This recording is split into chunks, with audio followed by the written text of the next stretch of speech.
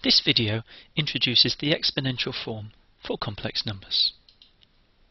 So previous videos have shown how multiplication and division of complex numbers is easiest in the modulus argument form. They also showed that complex numbers can be considered as scaling and rotation operators.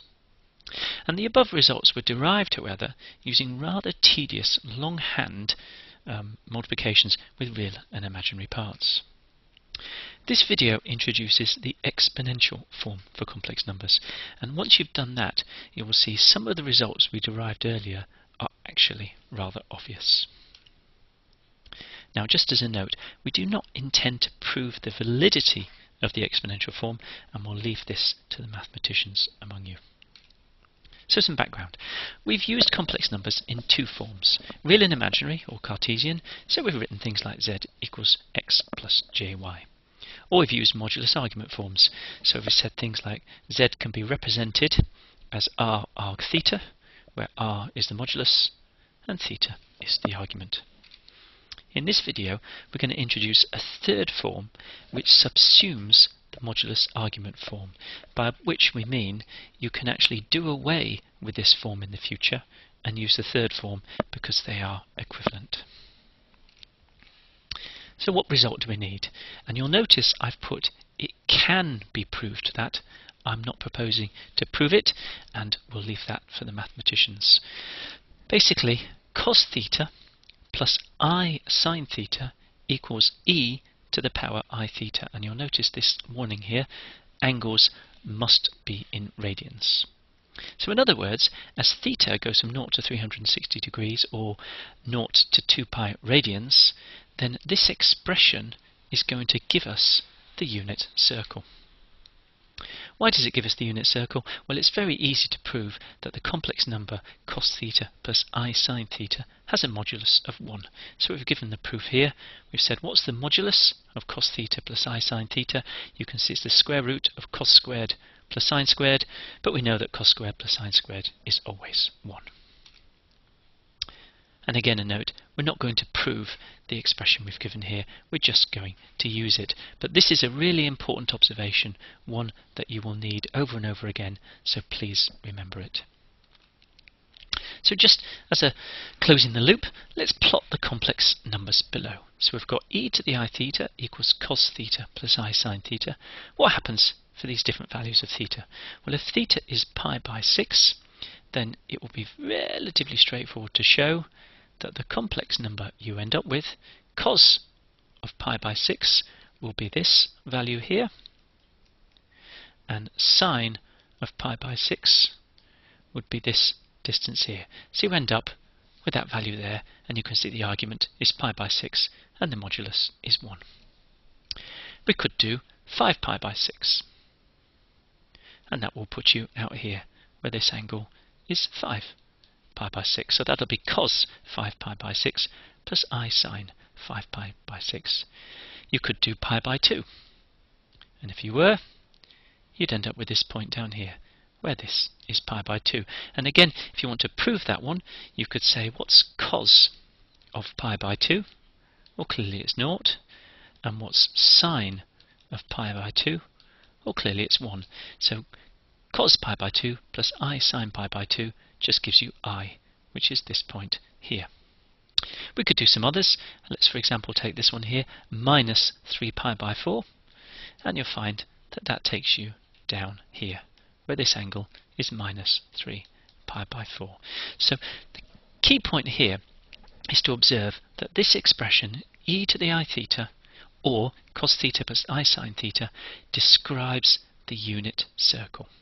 So all those values are complex numbers on the unit circle in an Argand diagram where theta goes from 0 to 2 pi. Now, a reminder of some rules of exponentials. If you multiply an exponential e to the a by an exponential e to the b, you get e to the a plus b. Similarly, if you divide two exponentials, e to the a divided by e to the b, you get e to the a minus b. So those are well-known rules. Now let's see what happens when we apply this to complex numbers. So what have we got here? I've got e to the i theta times e to the i phi. So two complex numbers, but with different arguments. And if I just use this rule up here, what do you get? You get e to the i theta plus phi. And what's the key thing there you notice? If you multiply two complex numbers, then the argument of the product is the sum of the arguments. What can you see? Theta plus phi. Now I'm not going to do it, but you could equally show that the rule for division follows automatically from this exponential rule here. so Let's multiply a few complex numbers just to show that this works. So you'll notice I have to find x, y and z in the exponential form. I want xy. So I've got e to the i pi by 3 times e to the i pi by 2 and that's simply going to give me e to the i pi by 3 plus pi by 2. So you can see multiplying when you've got them in exponential form is very easy.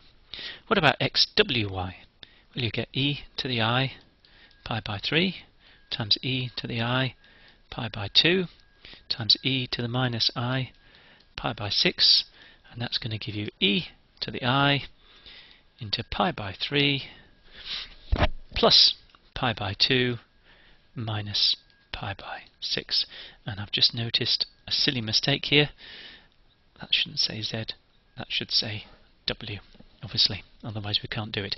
And the final one, yw over x squared, so I'm just going to write this one straight down. So we've got e to the i. Now, y has got an argument pi by 2, w has got an argument minus pi by 6. The x squared, you'll notice, is in the denominator, so I'm going to subtract the argument, so I get minus 2 pi by 3. So you'll notice in exponential form doing multiplication and division is very, very easy. Now, what if we want complex numbers which aren't on the unit circle? Well, a more general complex number, we just add an r on the outside. So I've written z equals r times cos theta plus i sine theta, or equivalently, r e to the i theta. Now, what's the modulus of this complex number? Clearly, the modulus is going to be r, because the cos theta plus i sine theta, which we had before, just has a modulus of 1. So separating out here, this r gives us the modulus of the complex number. So the modulus of r e to the i theta is r. Now this is a very key result, one that you need to remember because you'll use that quite often. Now what do we get from that? If I multiply together two complex numbers, here they are, r e to the i theta times b e to the i phi, I get rb times e to the i theta plus phi. And what do you notice? You notice if you multiply two complex numbers, then the modulus of the product, there it is, rb, is simply the product of the moduli of the original two numbers, r and b, which is the rule, the rule we derived in an earlier video. What else do you notice? There's an obvious link to the modulus argument notation. We've been using this notation here, r arg theta. And what you'll notice is if you use the exponential form, you write the complex number as r e to the i theta. So they're in fact equivalent. But r e to the i theta is a number, so you can actually use that, whereas r arg theta is notation which represents something. So in the longer term, you may choose to get rid of that one and say, I'm just going to use r e to the i theta in the future. Right, just some demonstrations of some simple multiplications. So you'll see, again, we've given you a number of complex numbers, and we want to um, carry out some multiplies. And you'll see very, very simple. x, y, I simply multiply the module, moduli, so I get 2 times 5, and then I do e to the i pi by 4 plus pi by 3. So you can see multiplying complex numbers written in exponential form is very, very simple. What about xwy? Then I get 2 times 5 times 4 for the moduli, and then e to the i pi by 4 plus pi by 3 minus pi by 2 for the argument. And the final one, yw over x squared, I'm going to get 5 times 4 over 2 squared into e to the i, and then I'm going to get pi by 3 minus pi by 2 minus 2 pi by 4. So some conclusions. Multiplication and division of complex numbers, we've already done that, can be interpreted as scaling rotation, and we'll need that for many engineering examples. However, key point here is if you express complex numbers in exponential form, then it makes this scaling and rotation mathematically obvious. Because what you can see is if I multiply complex number r e to the i theta by complex number b e to the i phi, I get a scaling of b and a rotation of phi. And we've also noticed that this new exponential form subsumes the form we were using earlier of r arg theta.